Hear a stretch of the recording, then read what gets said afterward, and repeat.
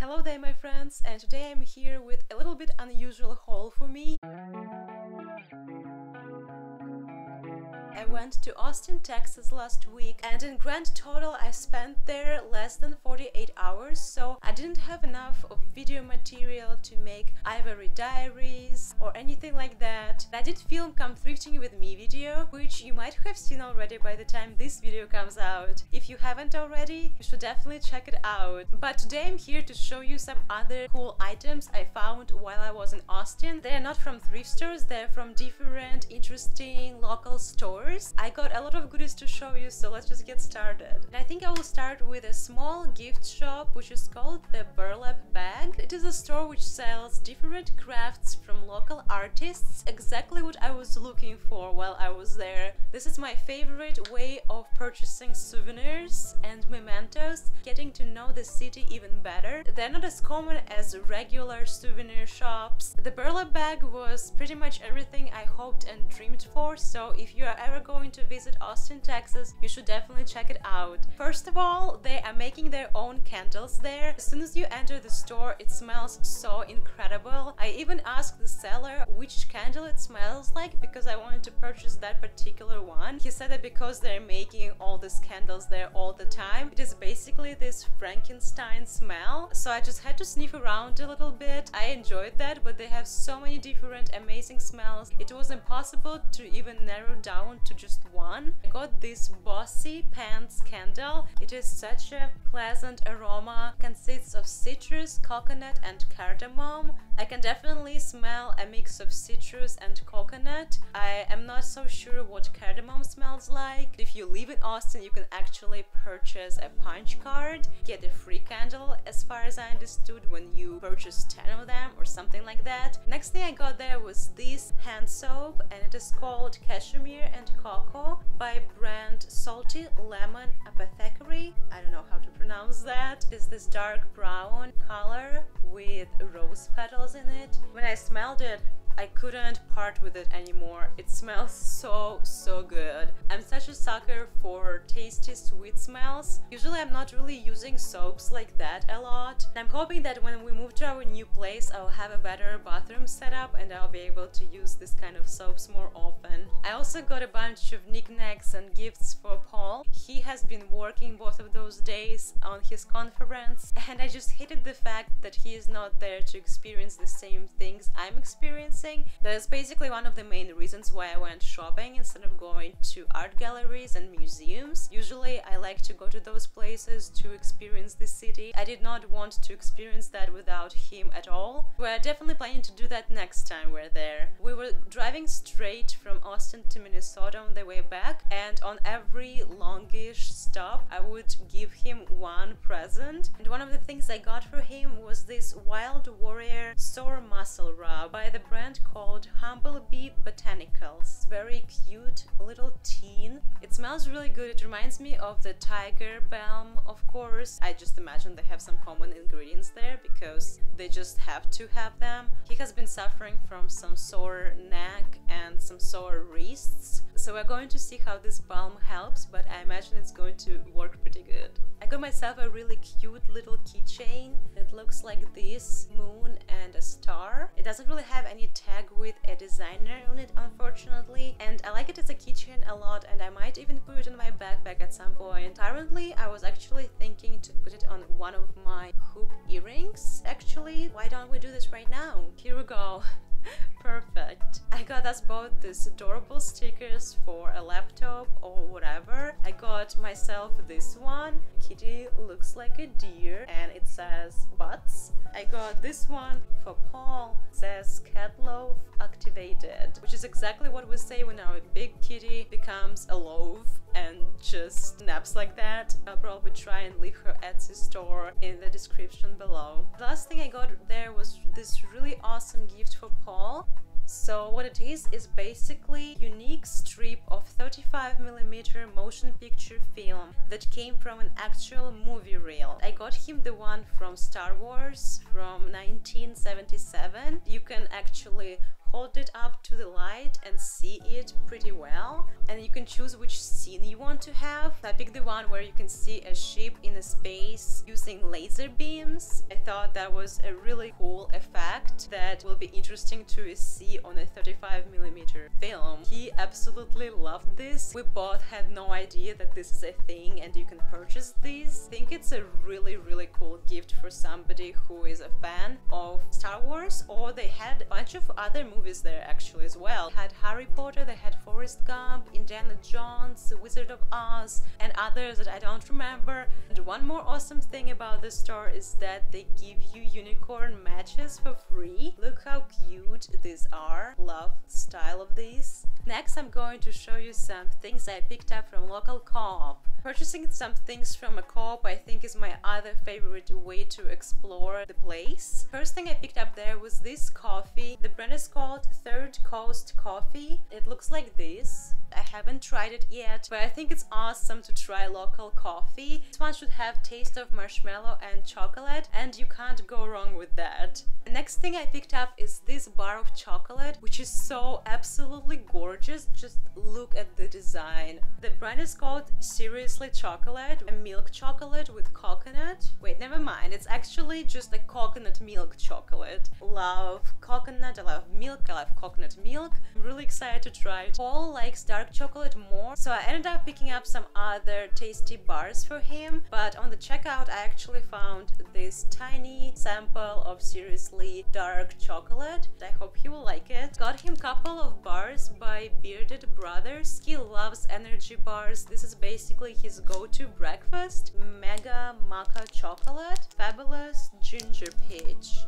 Of course, these are local Austin bars. We'll try and see what they taste like. And the last bar I got was this Texas Maple Pecan. Really pretty and also sounds really tasty. The last thing I picked up from Co-op was this awesome cat toy. It looks like this it's a four-link catnip toy. It's basically like textile sausages. And because our kitties were here alone while we were gone, they're fine, they're used to that. They're pretty independent, self-sufficient kitties. But I always feel bad leaving them anyway. At least Nika gets to hang out with our friend in the daycare. So I got them these. They absolutely love catnip, obviously. I'm super excited to see what crazy stuff they're going to do to this. Next store I went to was so exciting for me. Every time I'm traveling to another place, I'm always looking for a store just like that because inside I'm a five year old and I always will be.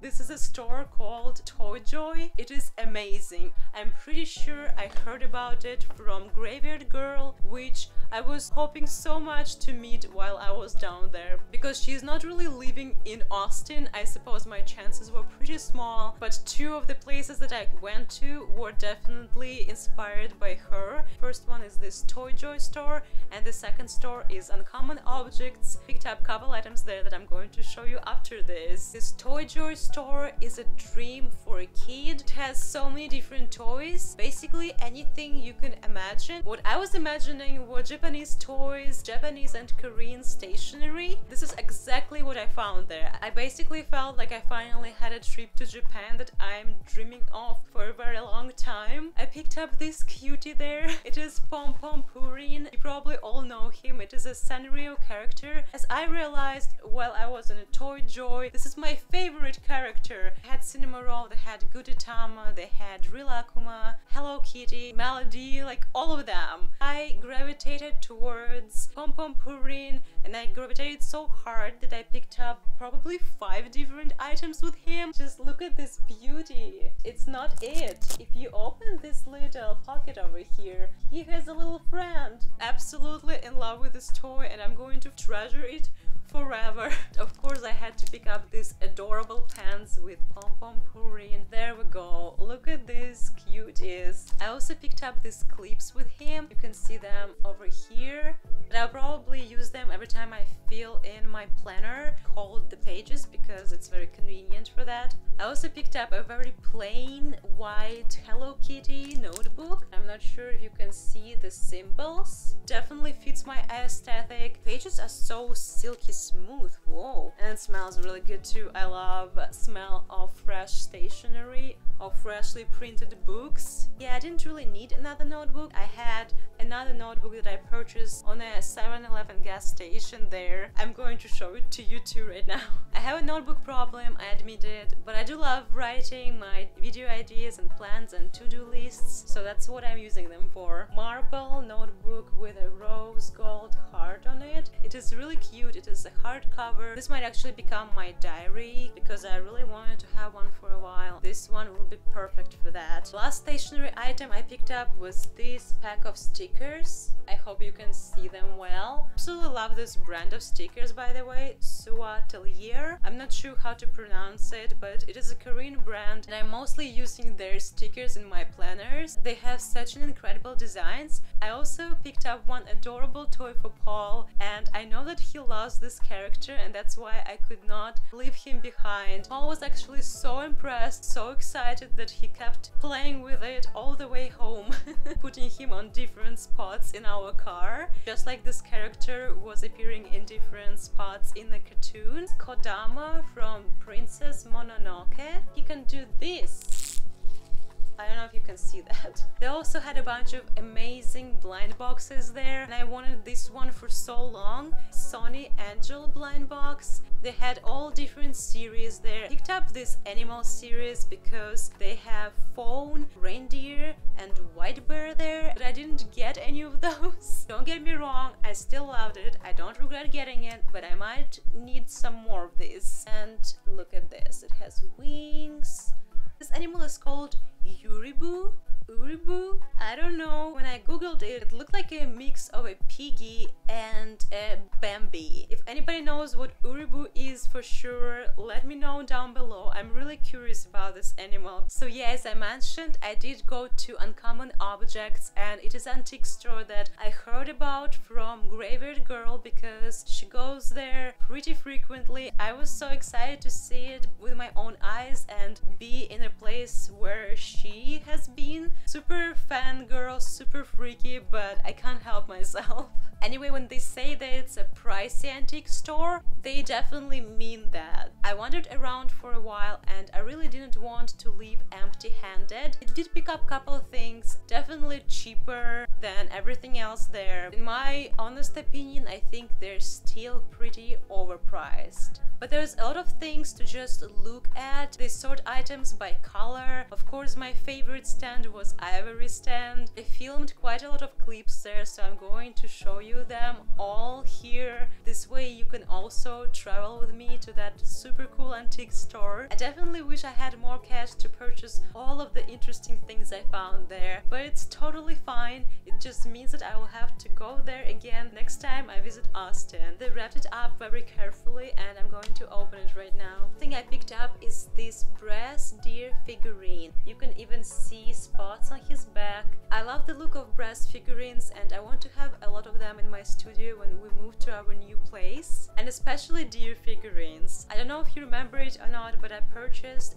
brass deer couple before. This guy is definitely much more detailed. I think they're going to be really good friends and they're going to go on the shelf together. And I got one more thing in Uncommon Objects. It is a gorgeous pendant. It has this button from both sides. I was already going to the checkout. In front of the checkout, they had a really tall unit with a bunch of drawers. Drawers were really narrow. Each of them had a tag, brooches, earrings, pins, blah blah blah. Nobody was looking at those drawers. I was really curious what this is all about, so I started pulling the drawers out and I saw that there's a bunch of stuff and I didn't see anything I liked. And I looked at the drawer that said pendants on it and something just hit me, you know, when you find something you really like. I don't know if it's silver, stainless steel, I have no idea. It reminded me of a desert and I know that Texas is not all completely desert, but they do have a desert in there and this is always what I was imagining since uh, I was a child, a desert in Texas, cowboy boots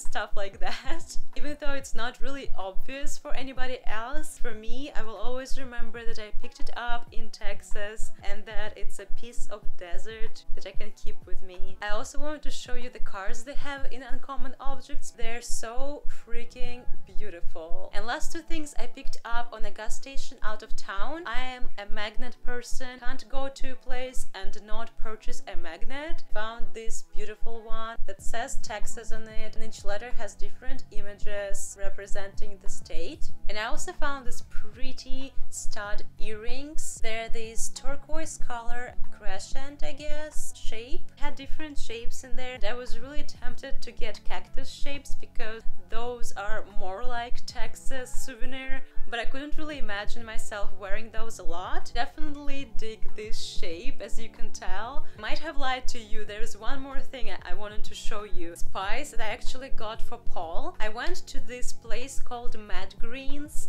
for a lunch. I love this type of places where they mix you different salads or bowls. Everything is organic and just the food that makes you feel good. I picked a bowl and I think it was a spicy bacon bowl and they used this mad spice in there. I decided that I had to grab it since they were selling it. Special secret recipe. Yes, the secret is in adding chocolate extract to the spice. Both love cooking, we both love experimenting with spices. I think it's a really cool local thing to try. These were all the things I brought back from Austin, Texas. I really hope you liked this video and if you did, don't forget to put likes, click subscribe button and leave me comments down below. Tell me if you have ever been to Austin yourself or if you would like to go or maybe you even live there and you wanna hang out next time I visit. I love you guys. I will see you very soon. Thank you so very much for watching. I feel great after talking to you. Bye!